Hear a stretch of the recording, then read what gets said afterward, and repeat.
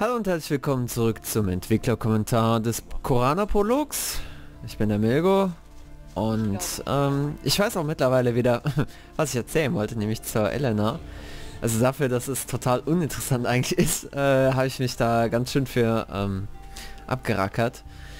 Ähm, auf jeden Fall, das Pro äh, es gab so ein, also wir haben die Aufnahme mitbekommen, es gab irgendwie, sie hat irgendwas erzählt und danach kam noch so ein, so ein Kicher. Ja, und äh, das mag einige vielleicht noch verwirrt haben und das ist auch äh, eine seltsame Aufnahme. Und das ist eigentlich nur aus dem Fehler entstanden des ähm, sogenannten Miranda Dialog Creators. Das ist ungefähr, ich bin ungefähr einer von zwei Menschen, die den jemals benutzt haben, vermutlich. Irgendjemand hat meinen Lagerschuppen ausgeplündert. Jetzt spiel, steht das Spiel Als sehr ich gut. feststellte, dass mein Schlüssel zum Lagerschuppen geklaut war, bin ich direkt zum Schuppen gelaufen, welcher natürlich aufgeschlossen und ausgeplündert war. Kann ich dir vielleicht helfen? Klar, beweise mir, wer es war. Du solltest mir allerdings schon zwei Beweise bringen. Ich werde allerdings auch nicht ruhen und ebenfalls nachforschen. Vielleicht finde ich ja selbst den Schuldigen. Ähm, und das, diese Sprachaufnahme war eigentlich so nicht vorgesehen. Allerdings äh, hat sie mir dann im Endeffekt doch so gut gefallen, dass das äh, Kichern noch danach kam, dass ich es so gelassen habe, anstatt es zu korrigieren. Also eigentlich hätte das in einer Aufnahme, hätte sie irgendwas sagen sollen und dann danach kichern sollen. So kam halt das Kichern in der zweiten Aufnahme. Total uninteressant, aber äh, war mir noch ganz wichtig, das zu erwähnen. So, äh, der Lagerschuppen wurde ich ausgeplündert. Der Dieb hat die Beute wahrscheinlich längst versteckt oder aufgegessen. Allerdings wird er den Schlüssel nicht einfach weggeworfen haben. Ich würde ja zu gerne alle Taschen und Truhen nach dem Schlüssel durchsuchen. Es kann aber auch gut sein, dass einer der anderen was gesehen hat. Okay, und äh, hier soll dem Spieler wirklich suggeriert werden, ähm, hey, du bist aufgeflogen und... Oh, den, äh, der Regen ist aber jetzt schön. Also schöner. Vielleicht ein bisschen too much. Aber auf jeden Fall wesentlich besser als im Original. Und ähm, äh, der Spieler sollte jetzt eigentlich schon ein bisschen Panik bekommen, ja? Äh, von wegen, hey, der kann mich erwischen, was passiert, wenn er mich erwischt.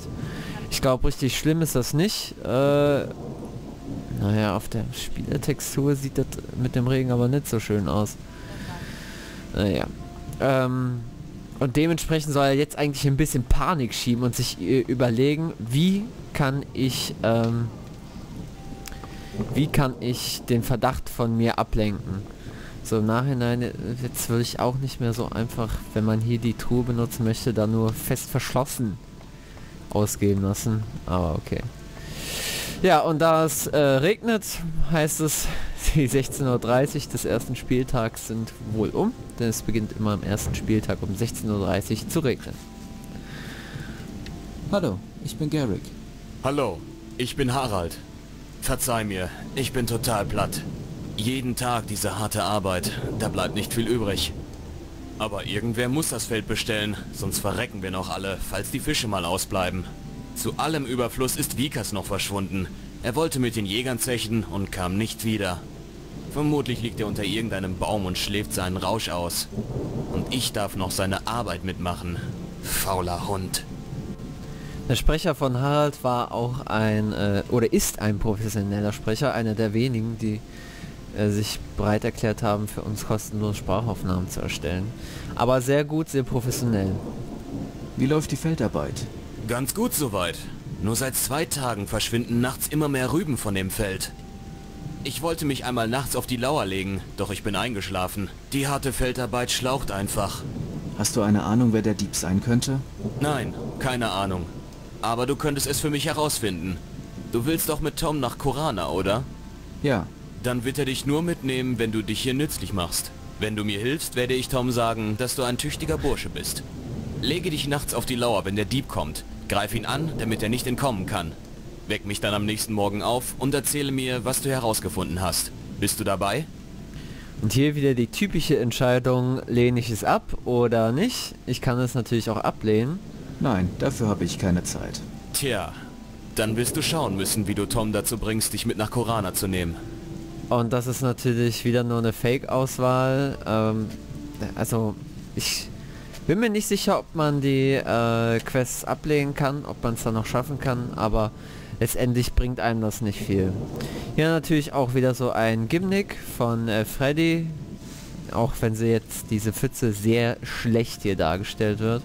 Oh, dann wird das in der ähm, Kohlenmine noch relativ äh, hässlich durch den Patch. Der Patch, der DirectX Patch ist natürlich noch nicht fertig, deshalb gibt es so Ungereimtheiten, dass unsichtbare Objekte sichtbar sind oder hier durchsichtige Texturen wahrscheinlich noch nicht so ganz ähm, korrekt dargestellt werden. Oder dass das Wasser in Strömen an den Charakteren abfließt. Aber äh, an den Felsen da hinten finde ich das wiederum sehr schön. Ich hoffe, es ist jetzt nicht zu dunkel. Moment, da möchte ich doch noch erzählen. Zum einen das äh, Wasser sehr schön. Aber zum anderen hat man das Gefühl, wenn man da an den Strand guckt. Ja, okay, das Wasser... Okay, es sieht nur ein bisschen so aus, als würde das Wasser den äh, Berg hochkriechen.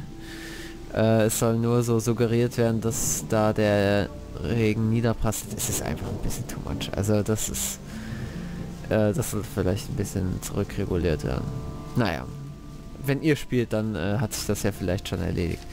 So, ich habe die Quest jetzt abgelehnt, ich kann aber zum Harald wieder hingehen und... Ich werde dir doch helfen. Gut, dann bleib wachsam. Die Quest dann äh, doch noch akzeptieren. Naja. Ähm, ja, was soll man machen? Wir können, äh, man kann irgendwie schlecht sagen, hey, du kannst alle Quests... Also, prinzipiell würde ich sagen, die Quests, die man annehmen möchte, die soll man annehmen. Oh, ich kann Martis Schlüssel unter Haralds Bett verstecken. Was für ein Zufall. Ähm, und wenn man die Quest halt, wenn man eine Quest halt nicht machen möchte, dann soll man halt sie nicht machen. Ja, beim Paar ist das doof, wenn man zum Beispiel die Kohlmine nicht finden möchte, dann geht halt die Mod nicht weiter. Dann äh, muss man äh, letztendlich aufhören, aber sowas wie mit Vikas, ja, den kann man suchen den kann man finden. Und äh, ich, ich muss sagen, die Quest gefällt mir nicht mehr so recht. Ähm, es macht keinen Spaß, äh, zu Vikas hinzugehen. Huch, jetzt ist der Regen auf meinen, auf dem Held fest. Hm. Das ist aber nicht sehr schön. Das sieht mir eher wie ein Grafikfehler aus. Na gut, dann speichere ich nochmal kurz und lade in der Hoffnung, dass es davon weggeht. Auf jeden Fall, wenn man so eine Quest nicht machen möchte, dann lasst sie einfach. Ja, und durch Neuladen geht's wieder. Huch. Mit Valina habe ich, glaube ich, schon gesprochen. Äh, auch hier so ein kleiner Kritikpunkt, der immer wieder aufkam, wobei nicht von vielen, weil viele nehmen auch einfach gerne das ganze Zeug aus den Häusern mit. Äh, man kann einfach alles mitnehmen. Und es kümmert keinen. Ja, das stimmt das äh, ist mir auch bewusst und dass diese Entscheidung war auch bewusst. Ich schlafe jetzt mal bis Mitternacht, um äh, auf das Feld aufzupassen, was mir Harald, ähm, worum Harald mich gebeten hat. Die Konsequenz wäre natürlich andererseits gewesen, die ähm, NPCs reagieren auf äh, Diebstahl in ihren Häusern. Ähm, das hätte ein paar Nachteile. Zum einen, ja, dann schlagen sie dich halt nieder. Äh, wahrscheinlich. Das fand ich übrigens auch nicht gut. Hier Rübenräuber sind, sollen das sein, aber hier gibt es nur 10 Rüben und die ähm, Räuber tauchen nicht bei den Feldrüben auf. So, aber wenn jetzt noch mal zurück, oh Gott, meine Gedanken springen hier wie sonst was. Ich hoffe, ihr kommt mit. Ähm, so, wenn man den den Gegenstände ähm, klauen kann und ähm, die darauf reagieren, dann nach Gothic-Logik sind die dann eingeschnappt. Ja, man kann natürlich auch sagen, hey, die hauen dich dann nieder und dann ist alles gut oder sonst was, ähm, aber sonderlich realistisch wäre das nicht. So, und jetzt muss man bei irgendwem Geld zahlen, das wäre ein doofes System gewesen ich, ich mag das halt nicht, dieses, oh, ich werde deine Tat dem bösen Tom melden, ja, und dann muss man bei Tom 50 Goldstücke äh, zahlen und dann hat, äh, haben alle vergessen, dass ich irgendwas geklaut habe. Andererseits äh, wäre natürlich die Möglichkeit gewesen, Vergessenszauber irgendwo zu deponieren, dass man halt diejenigen, die man verärgert hat, ähm, ja, das vergessen machen äh, lassen kann. Ähm, nur hatten wir halt keinen, der irgendwie Magiebedarf äh, anbieten sollte. Valandre wäre die einzige, die noch irgendwie in die Richtung geht aber wir wollten das bei ähm, Korana eigentlich sehr stark limitieren. Ich glaube, wir wollten sogar gar nicht mehr Ruhen einsetzen. Äh, ich glaube, es gab auf Korana auch keine Magier. Da gab es drei ähm, Fraktionen. Ähm, kann auch sein, dass eine davon die Magier waren. Aber ich meine, es gab da drei Fraktionen. Die Stadtwache von Korana, äh, noch so eine dritte Partei, die eher auf Geschick und Fernkampf aus ist. Auch mit Armbrust, meine ich. Vielleicht auch nicht. Ich, ich, bin mir nicht mehr sicher, ist echt zu lange her. Äh, und die dritte Fraktion wäre eigentlich ganz interessant gewesen. Wie viel Uhr ist denn jetzt? Mein Gott, sie könnten da mal langsam kommen. Ähm, die dritte Fraktion, das wären die Gelehrten gewesen. Die hätten noch so einen Sonderweg eingeschlagen. Weder ähm, Stärke noch Geschicklichkeit hätten die geskillt oder vielleicht ein bisschen Geschicklichkeit, aber die hätten eher mit Maschinen äh, gearbeitet und sich selber Spruchrollen gebastelt, um mit denen zu kämpfen. Und die hätten so einen, ja, so einen Weg beschritten, den es bisher noch nicht gab. Da sind die Feldräuber einfach gespawnt. Ist natürlich relativ dumm, wenn man dann auf der Stelle steht, wo die äh, Feldräuber auftauchen. Ähm, aber wir haben das jetzt bewusst in Kauf genommen. Es sind ja nur junge Feldroller, die können ja gar nichts. Ups. Da habe ich gedacht, ich erwische ihn. Äh, und im Zweifelsfall kriegt man die auch so besiegt. Oh, aber zwei auf einmal will ich nicht. Ich bin doch zu pissig. Selbst auf einem leichten Schwierigkeitsgrad. Oh, geh nach Hause. So, eine Pissnelke. So, dann haben wir auch gleich die Feldtreiber erledigt. Ähm, ich kann auch gerne mal zeigen, ich weiß nicht, ob das so allen geläufig ist, die die Mod gespielt haben. Das Inventar sieht echt nicht so hübsch aus. Da wird, glaube ich, auch Tessellation angewandt und das äh, funktioniert hier nicht. Ich, ich bin mir nicht sicher, aber ich glaube schon. Äh, was vielleicht einigen nicht klar war, ähm, na, na, kann ich ihn weggelockt? Ah. Jawoll. Einen einzelnen Wolf weggelockt. Ähm, ja, ich wollte meinen Satz beenden. Huch. Ähm, man hat ja jetzt die Feldräuber ähm, aufgespürt und anscheinend sind die diese bösen Rüben äh, Räuber. Und ähm, man bekommt natürlich jetzt von Halt den Auftrag, hey, ihr muss irgendwo ein Nest sein. Da ist nichts zu holen. Äh, Habe ich eigentlich nicht Wolfsfälle äh, nehmen gelernt? Oh, das war aber ganz schön dämlich von mir. Habe ich einfach vergessen. Ich weiß, dass ich es machen wollte. Ähm, oh, ich soll vielleicht schlafen, weil es ist ja wieder so dunkel und dann seht ihr gar nichts. Und auf jeden Fall kann man das äh, Feldräubernest ja finden und dann zu Harald zurückkehren und äh, sagen, hey, komm halt, komm mit. Ähm, wir gehen jetzt das Feld ausheben. Und... Oh, ich muss natürlich auch bald auf den äh, Diebstahl reagieren. Sonst... Sonst äh, findet Martis raus, dass ich das war. Und ich kann entweder halt mitnehmen. Oh Gott, meine Gedanken springen sonst was. Das ist ja krass. Hatte ich sonst, äh, hatte ich sonst eigentlich nicht. So, jetzt mal den Gedanken zu Ende bringen. Äh, man kann auch die Feldräuber selber erschlagen, also das äh, Feldräubernest und dann zu Halt gehen und sagen, hey, ich habe das ganz allein geschafft und dann sagt halt, ja, auch gut, muss ich nicht mehr mitkommen. Dann muss man nicht äh, halt irgendwo hinführen. Ja, die Elena hey, macht das hier schon schön. Ich glaube, ja. Hast du vor kurzem etwas Ungewöhnliches gesehen? Hm, etwas Ungewöhnliches? Moment mal. Ja, Ferrell. Er ist in den letzten Tagen immer spät aus dem Wald gekommen. Er wollte mir auch nicht verraten, was er die ganze Zeit gemacht hat. So, man kann, äh, man muss ja irgendeinen Schuldigen finden für Martis Schlüssel. Und das ist zum einen Harald und zum anderen Ferrell, den man halt eben mit genau dieser Aussage ähm, belasten kann.